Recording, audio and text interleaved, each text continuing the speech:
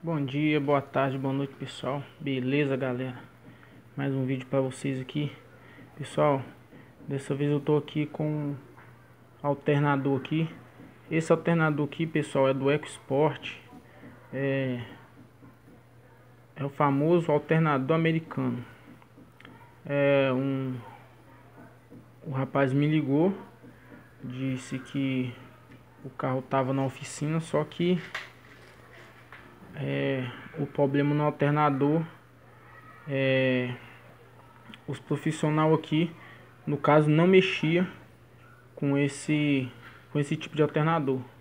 Porque diz que é um alternador americano e tal aquele negócio todo e me perguntou se eu fazia manutenção reparo nesse tipo de, de, de esse tipo de alternador. Eu falei que sim. É, Moro em Serra aqui em Espírito Santo. Saí daqui, fui em Vitória buscar o alternador.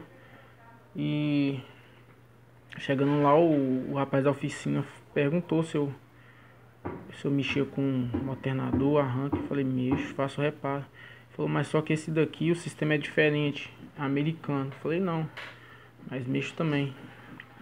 É porque eu não costumo, mexo em outros aí nacional, mas esse daqui eu não costumo mexer. Falei, não, mas eu mexo em qualquer tipo de alternador. Inclusive até alternador de caminhão aqui, é Sprinter, já mexi. E mexo, né, aparecer. Pessoal, esse alternador, a funcionalidade dele é a mesma dos outros. De você pegar um Gol, um Palio, mesma coisa. Porta escova, é escovinha no coletor, é, gera 14 volts, tem, no caso tem que gerar 14 volts a mesma coisa. É, qual o cuidado aqui que você tem que tomar é, na hora de você estar tá desmontando? É o, único, é o único segredo. Aqui ele, esse... Ele aqui no caso, ele tem uns parafusinhos muito pequenininho. É, deixa eu encaixar mais ou menos só para você ter uma noção. Ele tem uns parafusos muito pequenininho aqui. Esse, esse, esse, esse suporte aqui da escovinha ele fica encaixado.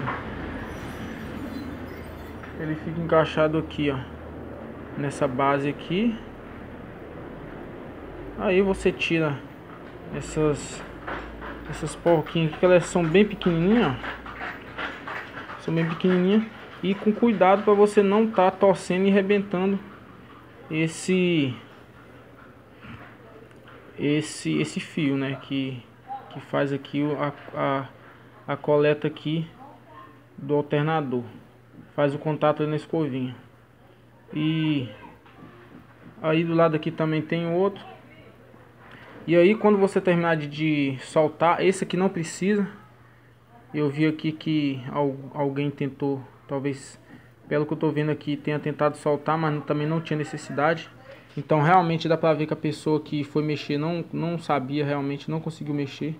Esse parafusinho aqui não tem necessidade de soltar ele desse fio azul, só o lado do vermelho e os demais das lateral. Aqui, pessoal, é o seguinte, você terminou de de soltar aqui as lateral deles, tá, os parafusinhos. Esse suporte aqui, ó, você vai fazer o que? Você vai vir aqui com a, com a chave de fenda, ó, colocar embaixo, aqui, ó, e vai força para cima, ele vai desencaixar e vai sair aqui o porta-escova. Pessoal, até o meu ver aqui, qual é o problema desse alternador? O problema desse alternador é o regulador de voltagem. Não exatamente o corpo do regulador de voltagem, mas aqui as escovinhas, os carvãozinhos que você pode ver aqui, ó, que estão bem gastos. Então, eles é mais ou menos desse tamanho e já chegou aí praticamente aí no fim aí. Beleza, pessoal?